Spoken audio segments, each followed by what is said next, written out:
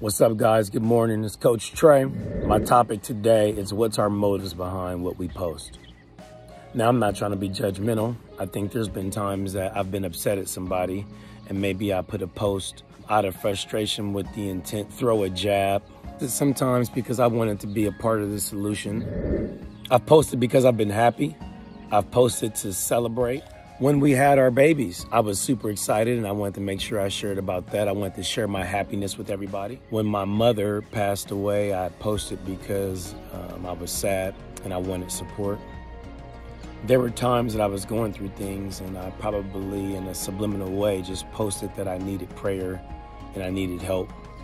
I was looking on social media and a post popped up that clearly, as soon as you saw it, you know, it was a jab at another political party.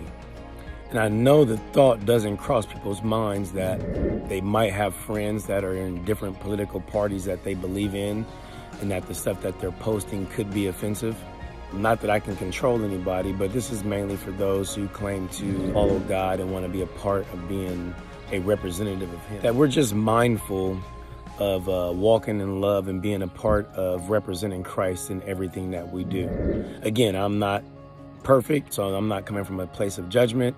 I'm just coming really from a place of encouragement. Well, how in the world can you encourage somebody pointing out an area they need to improve in?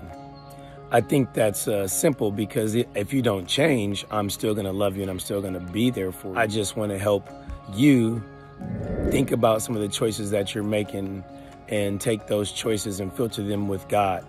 And I've made a change for the better. And ultimately, I want to be a better version of me. I want to be a version of me that's pleasing to God.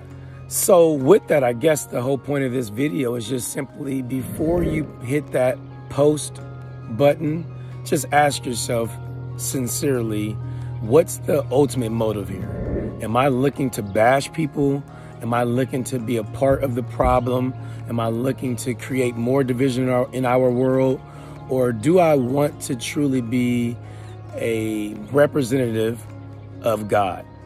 And if after you post that, which I've done, you look at it and go, mm, this probably is not going to go over well. This might be offensive. And maybe I'll just reevaluate that. Maybe I'll take it down. But ultimately, what has to be the standard is how do I think God would feel about this post?